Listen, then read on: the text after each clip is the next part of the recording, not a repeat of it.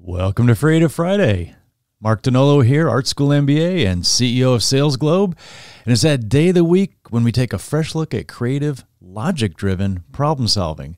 And in this episode, I want to share with you a little history on innovation and introduction of innovation and what's happened with jobs with new technology. And then I want to offer you a view on the relationship between human and AI and how you can best maximize your asset value in that whole equation.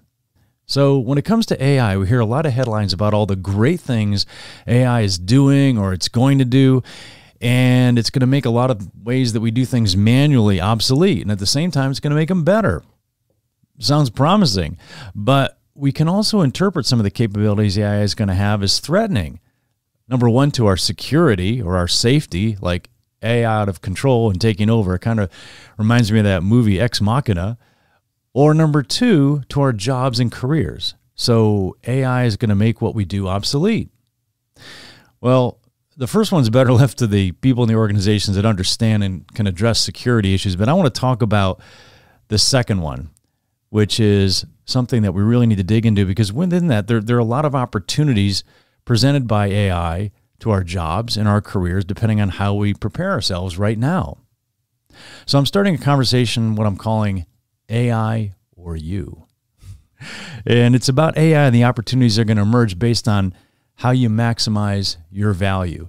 It's not just about understanding your job and, and what it may look like in the future. It's understanding about what you may look like in the future in terms of where you play and how you think and how you create your own personal competitive advantage. And you have a decision to make about whether you're going to be the recipient of whatever AI brings to your organization or if you're going to invest in the one personal asset you have that can't be AI'd, which is your human ability to creatively solve problems. Then you can leverage AI most effectively and you can determine your direction personally and professionally. So, a little history.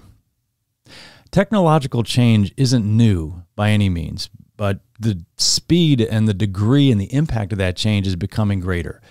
But being good creative thinkers, we can use one of the principles I've talked about a few times before, which is being a student of history and understand some helpful patterns.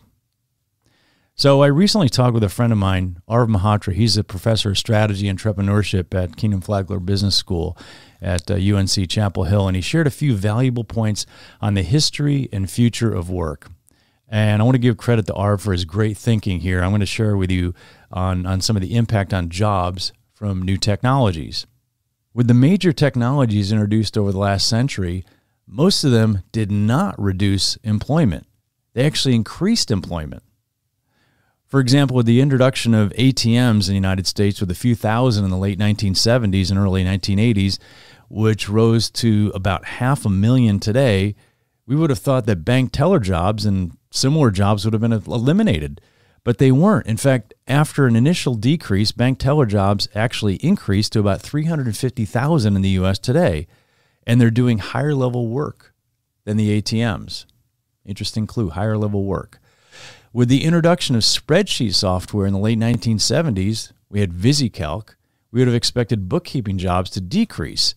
And they did from a peak of about 2 million bookkeepers in the US around 1983 when Lotus 123 was released to about a million jobs right now.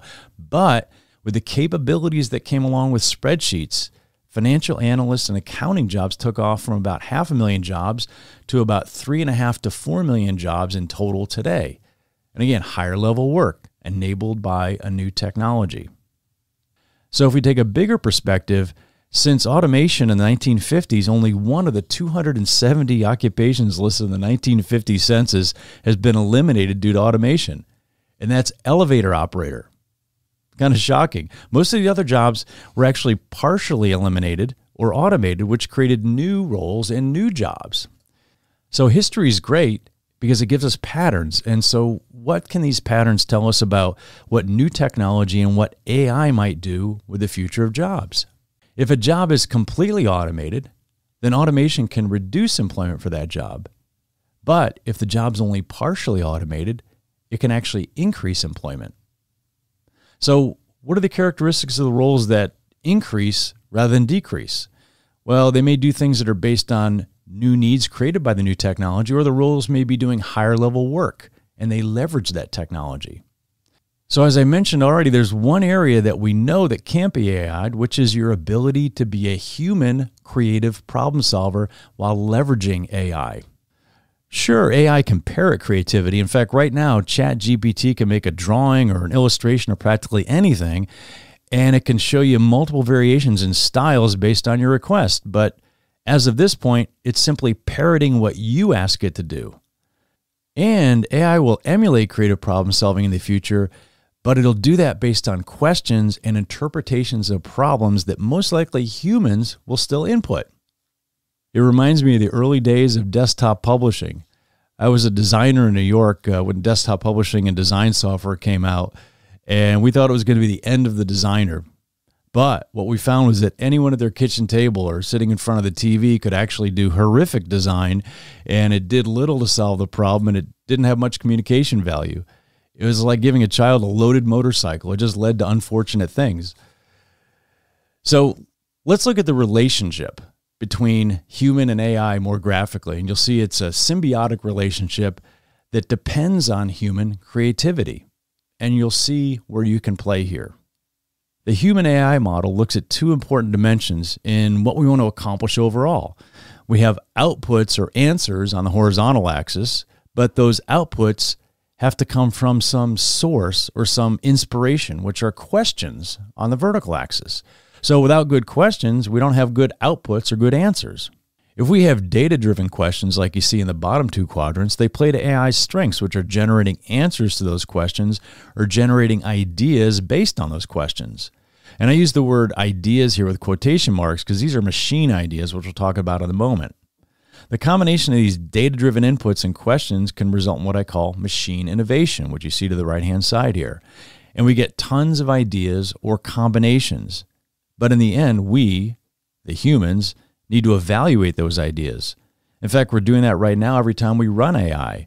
We're evaluating what comes out. And since we're in the early stages of the AI evolution, we have to use a big filter because lots of it is irrelevant or low quality. And a lot of it turns up some gems. In the bottom quadrants, we have data intensive, data driven work that relies on pulling, evaluating, and processing large amounts of information. The work may be repetitive or it may be one off. From a sales perspective, some examples might be processing large amounts of customer data or determining the most attractive customer segments, understanding patterns of customer behavior, evaluating how our sales process is working, conducting routine, repetitive tasks, and the, and the list goes on. In the top two quadrants, if we have creative questions, these play to the strengths of humans. These are human questions that are looking for answers, and also the blue sky areas of human explored ideas. These are the questions and exploration that require understanding, empathy, intuition, and perception, things that are innately human, not machine. These result in human innovation that you also see to the right. This work could be unique, like solving a problem creatively, or it could be repetitive, like engaging in human relationship building. From a sales perspective, some examples might be understanding the culture of an organization, reading a room, of course, AI could read the facial expressions and the body language in a room if you had cameras in the room. Understanding hidden agendas and reading between the lines of a conversation. Empathizing with the needs of another human, a customer, someone in your organization, or someone in your life. Creatively solving a problem in a humanly responsive way. Understanding how to communicate and implement a solution. And the list goes on and on. Of course, there's an interaction and a synergistic relationship between human innovation and machine innovation that comes up with the best, most effective ideas. But there's also something else.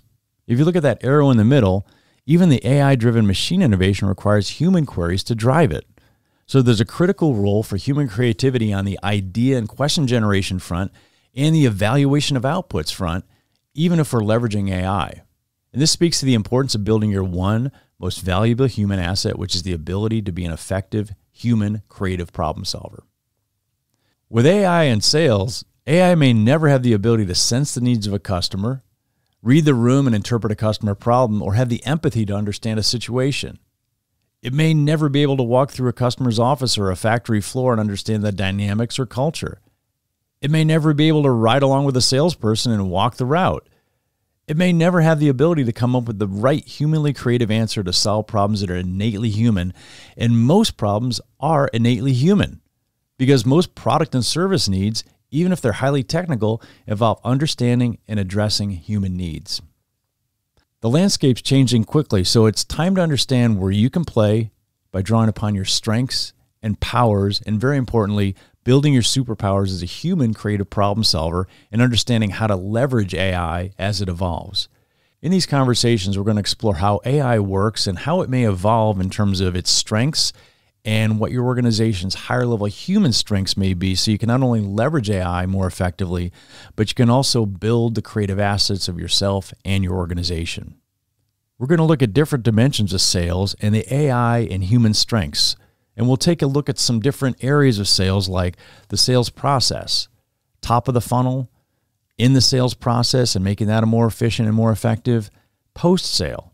And we'll also look at sales and revenue operations getting insight on sales performance, competitor insight, sales strategy, segmentation, offer and value proposition, sales organization design, increasing our sales capacity, incentive compensation, and quotas. This is a big list, clearly, and AI is going to be monumental for sales. So consider these dimensions of where AI can play and where you can build your most valuable human assets to leverage AI and move to a higher level. And join me as we continue the AI or you conversation and use these ideas in your Freative Friday and every day.